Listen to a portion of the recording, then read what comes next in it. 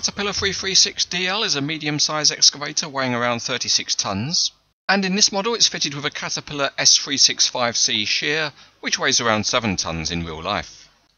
This is a Norscot model for Caterpillar, so it comes in the standard design of branded box.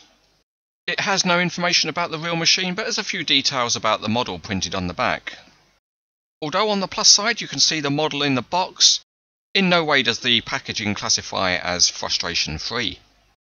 The model is firmly attached to the base of the packaging, in fact it's very firmly attached. But undoing the ties and releasing the model does at least give you something to do whilst you're trying to work out the origin of the universe. Once the model is out, there's no assembly to do because it's complete out of the box and there's just a couple of items of packaging to remove from the crawler tracks.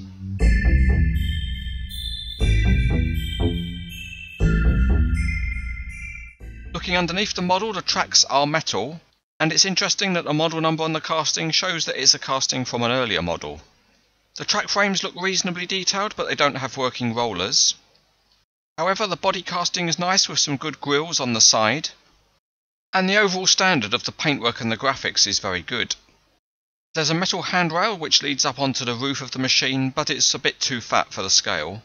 And the cab detailing is quite reasonable, although you might have expected to see a protective guard on the windscreen of a demolition machine. Up on top the engine cover appears to be plastic, but that means it is a bit more detailed, and there are plenty of hydraulic lines running to the boom. There are more hydraulic pipes in the casting of the top of the boom, and hoses leading to the hydraulic cylinder.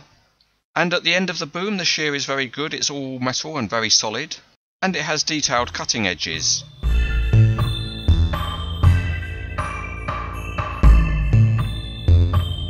So out on the test track we'll try the crawler tracks and they're too stiff to roll on a smooth surface. But they move easily enough by hand and they're spring loaded. And when you give them a go on a rougher surface then they do roll. They're not entirely smooth but they show willing. The body rotates well enough, it's a little bit sticky to start with but it's fine. At the demolition end the range of movement on the boom is good enough. And the cylinders are reasonably stiff, which is a good thing because the tool at the end is actually quite heavy because it's all metal, but there's no bleeding of the cylinder rams at all.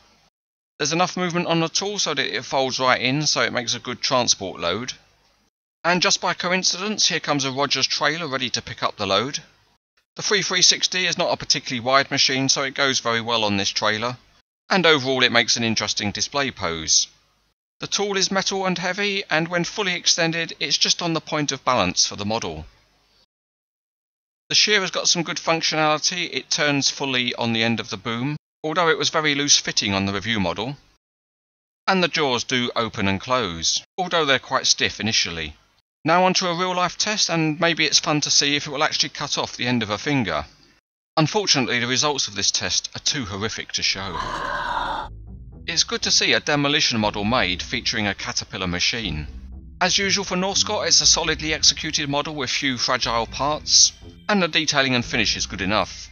If you like Caterpillar models, then it's recommended.